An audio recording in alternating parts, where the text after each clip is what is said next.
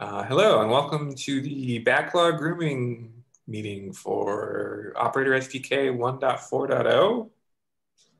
Um, 1.3.0 is still sort of in the pipeline, so I think Eric wants to take a moment to talk about that. Yeah, so technically this is the 1.4 meeting, but uh, I would like to pose an idea. Uh, so there are a few issues, more than a few issues actually, in the uh, 1.3 milestone that are related to Kubernetes 1.19, in particular, getting features that are in the uh, KubeBuilder Go v3 plugin into the SDK that relate to um, Kubernetes 1.19. Uh, we are currently blocked by controller runtimes stable 070 release, which includes Kubernetes 119. Once that is released, then KubeBuilder can bump to that stable version in the Go v3 plugin and stabilize that plugin and the project version. Um, once that happens, then the SDK can adopt the Go v3 plugin and make that the default, thereby um, getting a lot of the features that are uh, in issues in that milestone. So, what I would like to pose is that we arbitrarily block the 1.3 release until the date that um, KubeBuilder stabilizes their upstream plugin, uh, which will be the same day that Control Runtime releases the uh, 070 stable release. Otherwise, we're kind of cutting a release that doesn't have that many features, changes, or whatever in it. And on top of that, there are still a ton of open issues in the 1.3 release milestone. Do we have any rough idea when that's going to be? We were told uh, originally that 070 was going to be released uh, either the week of Thanksgiving or the week beforehand. But I think there was one upstream issue that cropped up that they needed to deal with. Uh, from what I heard yesterday, um, that is going to be resolved very soon, um, potentially today uh, or tomorrow. So I expect a release of 070 latest Monday. Uh, and if it doesn't happen then, then I'm going to uh, go and talk to the upstream folks again um, and make sure that we have an actual timeline to get this out. Uh, so what I'm basically posing is we block the 1.3 release on controller runtime, um, and presumably we will be able to cut the release next early next week uh, at the latest. What about where does Kube 120 stand then? What's that? Where does KubeBuilder? I mean, not KubeBuilder. Kubernetes 120 stand? Right. Uh, so that is the uh, next topic of conversation, and both of these are on the agenda, by the way. So I guess we're kind of covering those first. Um, the uh, Kubernetes 120 release is also slated for next week. Uh, controller runtime will need to bump to 0.8. Will need to bump their Kubernetes dependencies, then bump to 0.8, and then that needs to get into um, a KubeBuilder uh, Go plugin release. Luckily, there are no breaking changes, so it's not like we need to create a new Go plugin. Uh, we can just bump dependencies in the existing one. Uh, so I don't expect that to take uh, much longer than a week from when 070 control runtime is released. Um, but what I would also like to pose on top of what I just did for 1.3 is that we cut a 1.4 release as soon as uh, we can get 0, 1.20 changes into the SDK. We need to call that 1.4. Could we call it 1.3.1? I don't want to do that because it's not a patch in Kubernetes versions. We're releasing a whole minor version, okay. or yeah, whole minor version of Kubernetes. Can you walk us through the um, like why would not waiting? Why wouldn't we want to wait three weeks? Um, I think this this mainly has to do with um, some of our downstream dependencies, uh, but at the same time, I it would just be nice to get on the cadence of iterating quickly on upstream releases. So as soon as a new Kubernetes version is released, we in both the SDK and in upstream repos also release versions that contain that minor version of Kubernetes. Um, and that just makes things a lot more fluid for our users and we're always on latest. And then we can always um, start iterating on that version of kubernetes and figuring out what features we want to add for this and the next minor version. And that also prevents us from being left pretty far uh, back in the uh, minor version release cadence, which is currently where we're at. We're still on 118. We're waiting on 119 when 120 is being released next week. I want to avoid that as much as possible going forward. Um, yeah, so think, being diligent about releasing quickly is important. I think doing a 1.4 sooner than waiting is kind of we're doing it kind of to play catch up because we've been on 118 for a long time and then bumping to 119 now and then waiting. I think if we were ahead of the schedule or at least soon after they come out, we could have said, oh, let's just do the next release. Um, I'm okay with what you proposed. Um, from a community hat on. Yeah, it doesn't bother me either. I would want, um, like, if we do agree to do that, I think this probably deserves an email to the greater lists. Yeah. Uh, since we've kind of announced that we're trying to do every three weeks, just uh, every, anytime we don't have that, uh, move away from that expectation, we should just tell everyone. Yeah, I agree with that. Uh, and I would also try and generalize this a little bit and say we might have the odd uh, minor release come out that um, as soon as a Kubernetes version comes out and we are able to, we will make a release in the SDK. Yeah, that um, seems and, like pretty solid plan. Yeah. So yeah, every three weeks, but then in between we might have another minor release. Because why not?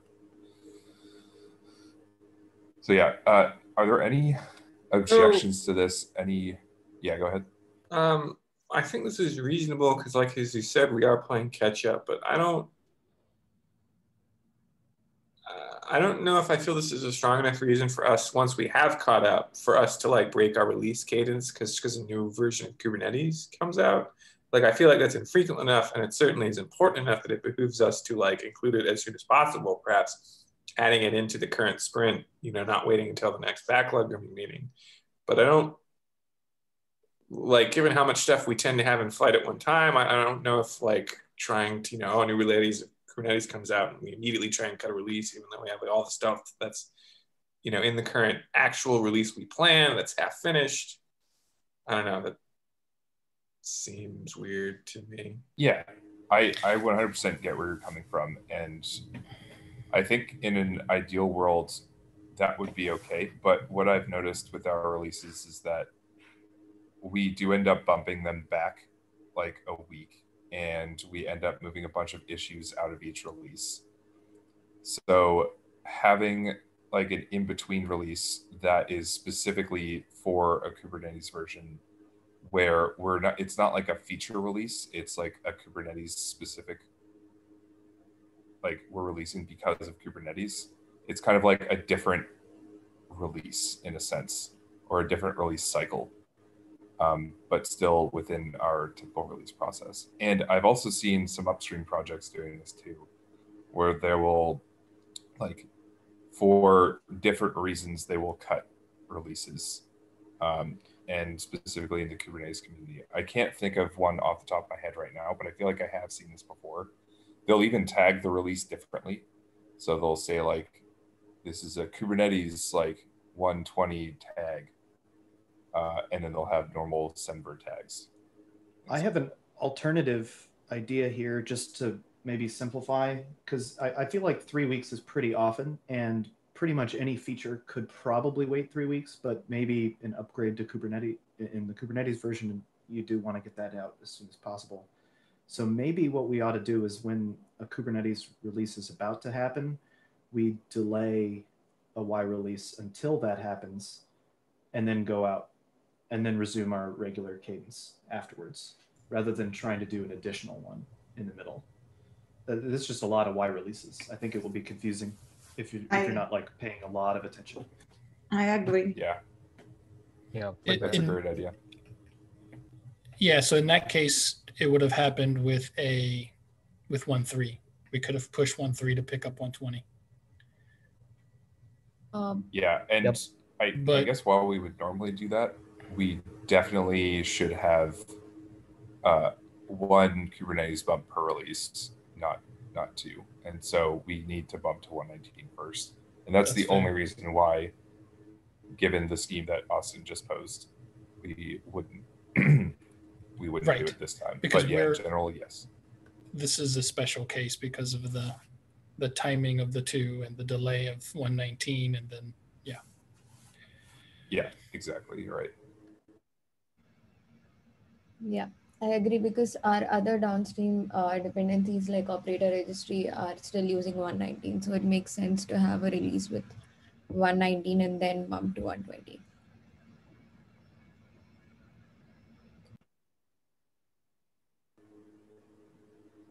Does that um, help answer your question, Jonathan, or is that Yeah, that sounds good. else? Okay.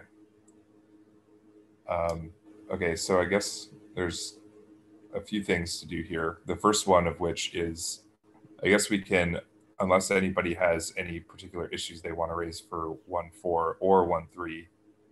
Uh, now that we're pushing it back a little bit, um, we should probably like not do a full grooming or any grooming, and just say that everything that's in one three will be released for one three. Um, or I guess we could do a one four grooming anyway. Uh, well, remember, uh, uh, the schedule's getting kind of weird because of the holidays. Uh, currently, Yeah.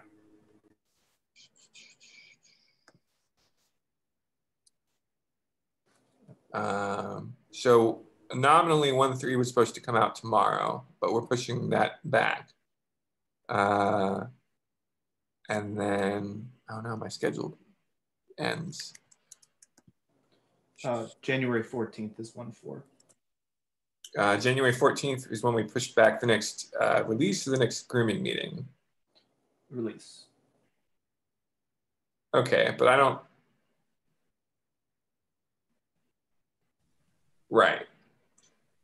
So if we push back the one that's supposed to happen tomorrow, I can't imagine much work, if any, is actually going to happen on the next release by the time people get back from vacation and the 14th of Yeah. January happens. Yeah, I think the right thing to do is just um, call. So um, cut 1.3 as soon as possible.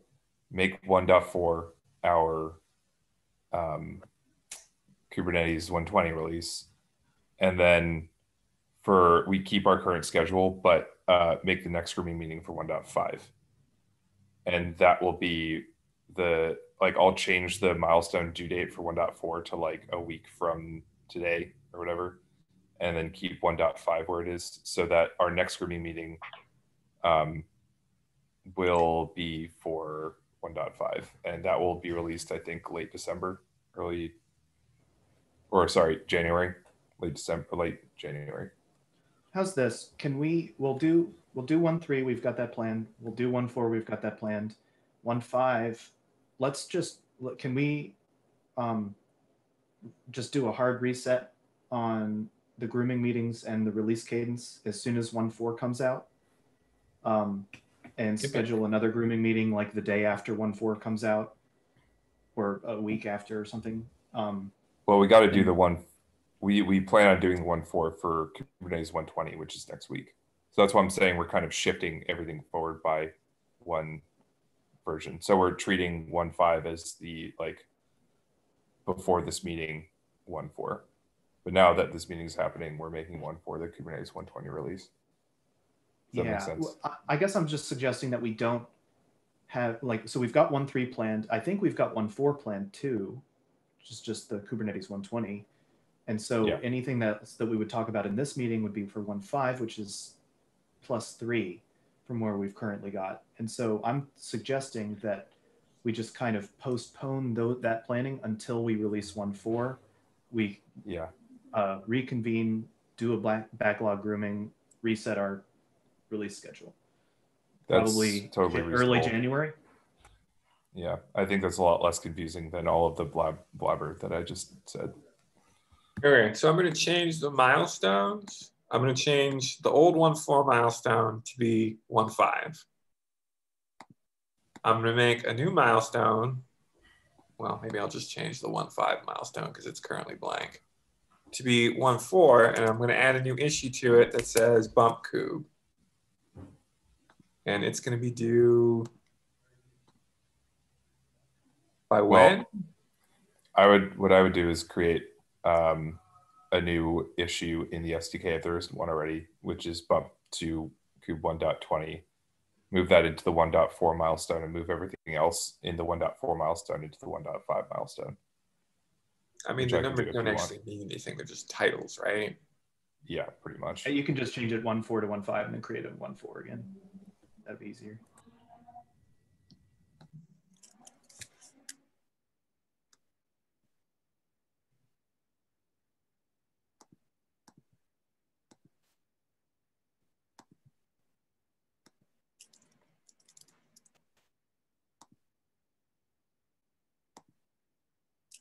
All right. So while you're doing that, uh, so I, I guess uh, those are yeah. I, we don't really need to do anything this meeting, uh, which I think is okay, especially given the holidays are coming up, and I don't expect too much work to be getting done around then. So yeah, Do you know the issue number for the extant Kube bump issue? I need to open issue for it. Let me do that. Oh, sorry. I thought you said somebody said there was one.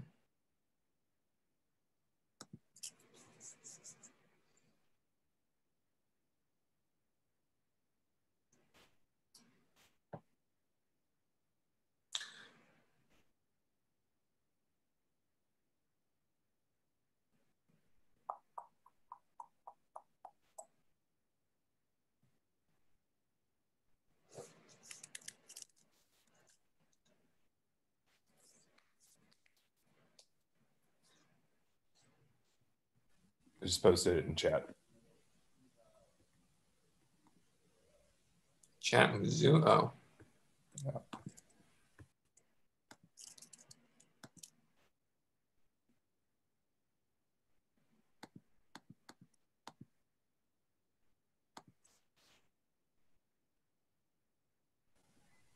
So I guess the the other thing that we need to do is uh, send out this email um, and probably update our grooming meeting uh, draft or our uh, whatever it is, like how we conduct these meetings. Um, Jonathan, I think you own the document on uh, how grooming meetings are run. Is that correct? a Google group post so anybody can? Yeah, I guess by ownership I mean created, but um, if if you want to take that on, that'd be awesome. Otherwise, I could probably do it. No, that's fine. You want me to send out an email to the group saying, explaining what we just did? Uh, yeah, and update the doc, or we can delegate one of the two tasks to somebody else. I don't understand what you mean by update the doc. The doc doesn't have any specific dates or anything in it. In the meeting invites isn't there a procedure doc? You want me to change the meeting invite? Oh, oh, there's so sorry. There was a Google group post for uh, the backlog grooming procedure. So I guess these two things are the same thing, which is basically post a reply all on that um, Google group thread and just say this is what we're now doing with the release cadence. So we're going to cut minor releases when Kube version gets bumped. We're pushing stuff back because of the holidays. We're pushing back stuff because we need to bump Kube twice in a row. Yeah. Well, uh, yes. So basically, we going forward, uh, when a new Kubernetes minor version uh, is slated for release, we will push that back the preceding operator SDK release such that we can incorporate that uh, Kubernetes version minor bump into the SDK. This one time, we are making an exception because we are two minor versions behind, where we are going to push back the 1.3 release until we can get 119 uh, into the SDK. And then immediately following that, we are going to release 1.4 with the 120 Kubernetes version bump. Okay, but if that's what you want me to say, I don't see what that has to do with backlog grooming procedure. It seems like that's just a general announcement that the list should know about. The um, so the exception is the announcement, but we are changing the rule about how our release cadence looks because now we're pushing back uh, releases so that we can incorporate the latest Kubernetes version. That's the procedure change. Okay. I guess okay, I guess how we do a grooming meeting doesn't change, but our release cadence is changing. If we explain it, the, the first part you said that we're pushing one three back to pick up 119. We're moving one four sooner to pick up 120. And in that same message, we could state that, you know, we'll reset the, we're doing this to, um, see now I'm just fumbling the same way. Um, I think just that announcement would be, would suffice. And then when we do the next grooming and we reset, like Austin was saying, after that one, and we say, okay, here is the next set of releases, then we could announce those and say, okay, here's the plan going forward.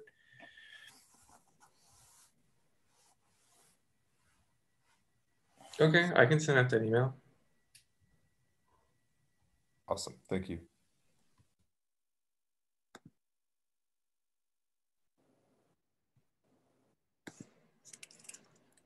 Okay, do we have anything else to talk about right now?